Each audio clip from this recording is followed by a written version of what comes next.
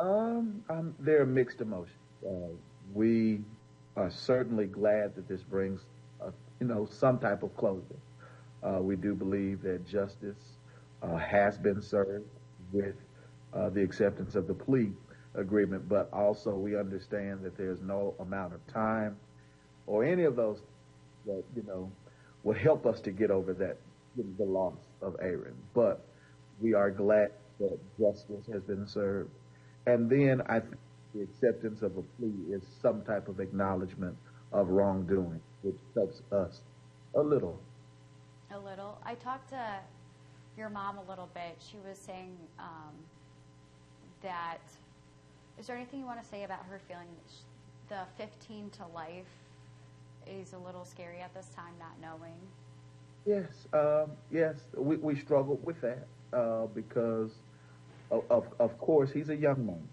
And so to, to us, that says that he still has an opportunity to have some semblance of a life, an opportunity that my brother will never get.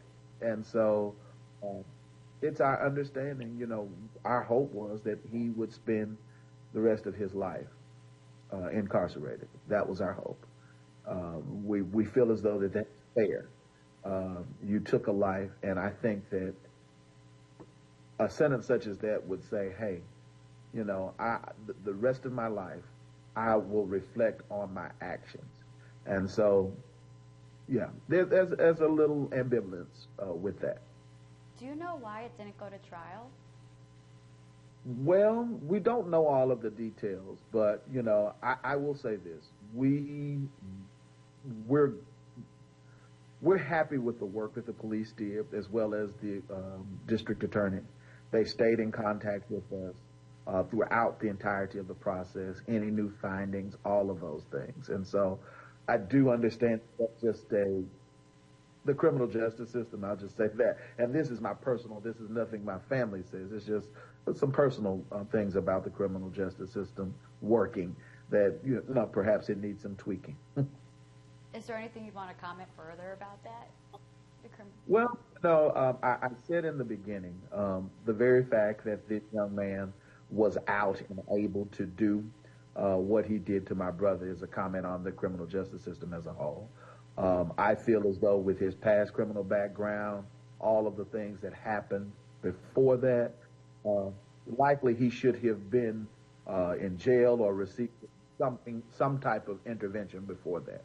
That to me, that would have been the logical thing.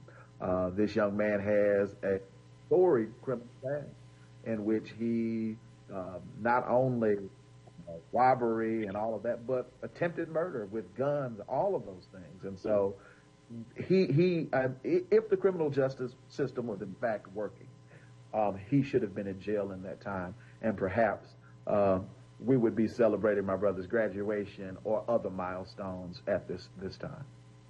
Can you talk about the grief your family has dealt with? You know, I know there's no time that's long enough to deal with grief. Right. Well, you know, um, we are believers, and so uh, one of the things we rest in is that we believe that uh, our God uh, is able to sustain us through all of these things. Uh, but uh, we, in, in, fact, we are a close knit family, and so, uh, and I was significantly older than my siblings. So for me, it was as if I lost a child because um, I helped to rear my brothers. And so uh, it has been a, an, a special grief process for me, but more so for my mom and Aaron's dad. They they lost a child, uh, and as all accounts, um, Aaron was as perfect as anyone could get it. I know that people, when they reflect on people who passed on, that's kind of something they attributed to all of them. But when I tell you that as perfect as a person could be, that young man was that. And so um, our grief is especially difficult because uh, there's a void with his loss. We, we, miss him dearly because we we believed him to be a special light, and um, that light no longer shines. And so um, our, our grief uh, is still very real and very present.